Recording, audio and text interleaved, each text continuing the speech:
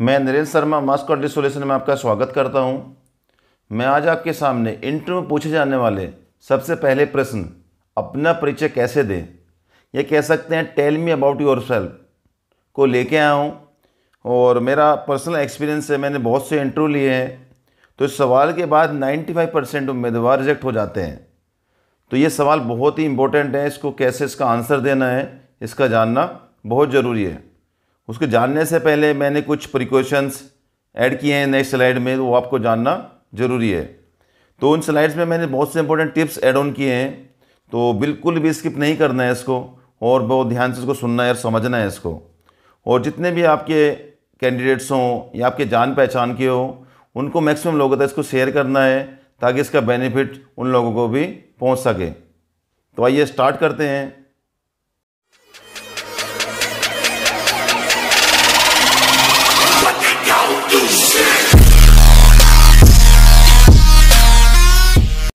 आइए फ्रेंड जानते हैं कि क्वेश्चन क्यों पूछा जाता है? सबसे पहले ये जानना ज़रूरी है कि भाई इस क्वेश्चन को पूछा क्यों जाता है? सबसे पहले क्या है, जो भी इंटरव्यूअर होता है, वो ये जानना चाहता है जो कैंडिडेट है, जो मैं इसको सिलेक्ट कर रहा हूँ, उसका कम्युनिकेशन स्किल कैसा है? क्योंकि जब उसको इंडस्ट्री में काम करना है तो सबसे पहले उसकी क्वालिटी क्या होनी चाहिए, उसकी कम्युनिकेशन स्किल होना चाहिए।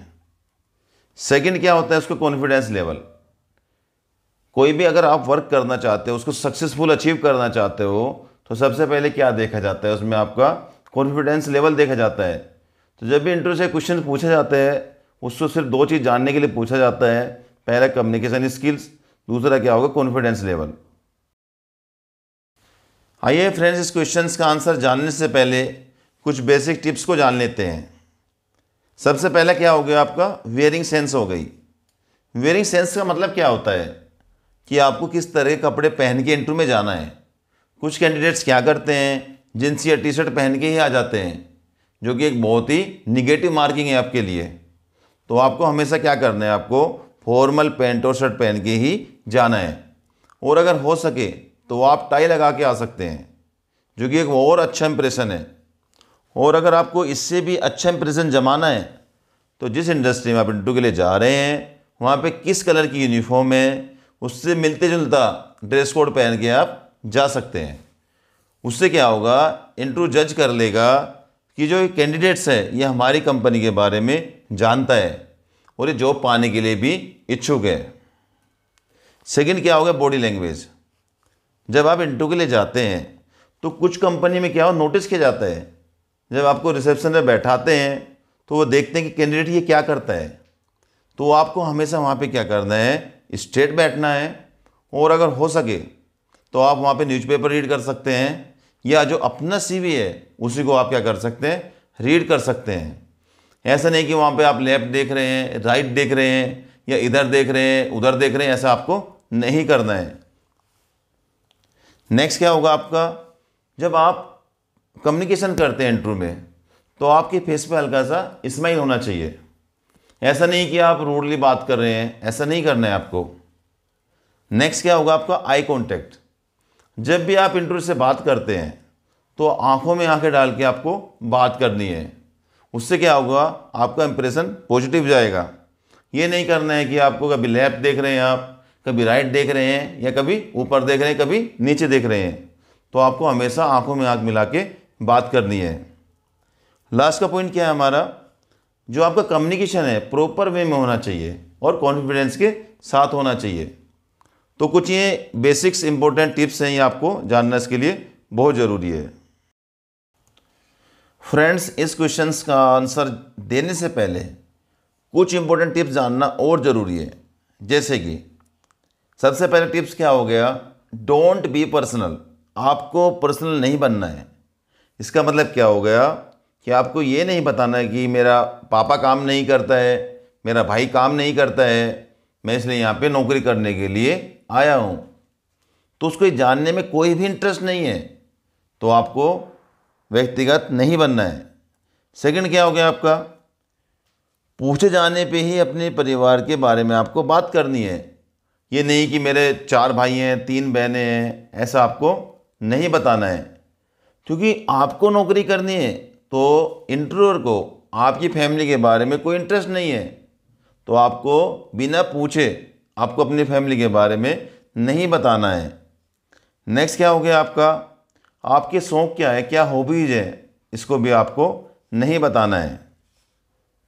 दूसरा और सबसे लास्ट इम्पोर्टेंट कुछ क्या होता है कभी कभी जो इंट्रो क्वेश्चंस करता है तो आपकी समझ में नहीं आता है तो उसको आपको दोबारा पूछना है। ये नहीं है कि आपको समझ में नहीं आया और आपने आंसर दे दिया तो उससे क्या होगा? आप रोंग आंसर देंगे और जो आपका इंप्रेशन क्या होगा, वो रोंग हो जाएगा। तो ऐसा भी आपको नहीं करना है। आइए फ्रेंड्स जब हमें tell me about yourself का आंसर बताना है तो हमें क्या बताना है? वो चीज़ों का हमें ध्यान रखना है। तो हमें पाँच बातों का ध्यान रखना है हमको। तो पाँच कौन कौन सी है? उसमें सबसे पहले आपको अपना नाम बताना है। सेकंड में क्या है? अपनी एजुकेशन के बारे में बताना है। थर्ड क्या हुआ आपको? वर्क एक्सपीरियंस के बारे में बताना है। और जो चौथे नंबर का ये बहुत ही ज़्यादा इम्पोर्टेंट है।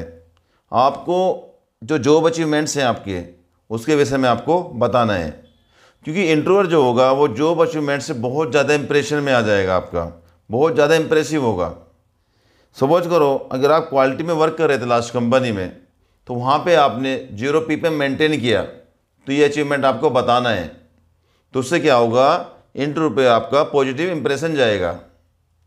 और जो लास्ट का है, आपको ये बताना है इसमें कि आपको जॉब की ज़रूरत क्यों है। और फ्रेंड्स ये मैंने बहुत ही अच्छी वीडियो बनाई है और आशा करता हूँ आपको पसंद आई होगी। तो इसको प्लीज़ लाइक कीजिए सब्सक्राइब कीजिए और शेयर कीजिए। मैंने इस वीडियो पे दस हज़ार का टारगेट लिया है तो उसमें मेरी हेल्प कराइए और मैक्सिमम लोगों तक इसको शेयर भी कीजिए ताकि इसका बेनिफिट्स और लोगों को मिल सके। आइए फ्रेंड्स इस स्लाइड के लास्ट में मैंने एक क्वेश्चन रखा है इसमें, जिसको आपको आंसर देना है। और मैं ये जानना चाहता हूँ कि जो वीडियो है, आपने कितने ध्यान से देखी है और कमेंट बॉक्स में जाके इसका आपको आंसर देना है। तो मेरा क्वेश्चन क्या है, ये, आइए जान लेते हैं। अपने बारे में बताते समय, क्या आपको अपने जो अचीवमेंट्स के विषय में बताना है या नहीं बताना है? तो इसका आंसर आपको कमेंट बॉक्स में देना है। और दोस्तों, भविष्य में और भी अच्छी वीडियो लेके आने वाला हूँ। मेरे चैनल के साथ बने रहिए और thanks thanks for everyone watching this video और मेरे सभी व्यूवर से रिक्वेस्ट है कि वीडियो को लाइक कीजिए शेयर कीजिए और सब्सक्राइब कीजिए और बेल आइकन को हिट कीजिए। और कमेंट बॉक्स में जाके कमेंट कीजिए, कोई भी क्वेरी क्वेश्चन हो, उसको पुट कीजिए ताकि मैं उसका आंसर दे सकूँ। और जो डिस्क्रिप्शन बॉक्स में मेरी नई वीडियो के मैंने लिंक शेयर किए हैं तो कृपया उनको भी वॉच कीजिए। और अपने फ्रेंड सर्किल को, उसको शेयर कीजिए ताकि उनको भी उनकी जानकारी मिल सके, उनकी नॉलेज बढ़ सके। और आपके लाइक और कमेंट से ही मुझे मोटिवेशन मिलता है। और मेरे चैनल में बने रहने के लिए आपको बहुत बहुत धन्यवाद। और मेरे चैनल के साथ जुड़े रहिए, क्योंकि फ्यूचर में बहुत अच्छी अच्छी वीडियो लेके आने वाला हूँ मैं। और थैंक्स वंस अगेन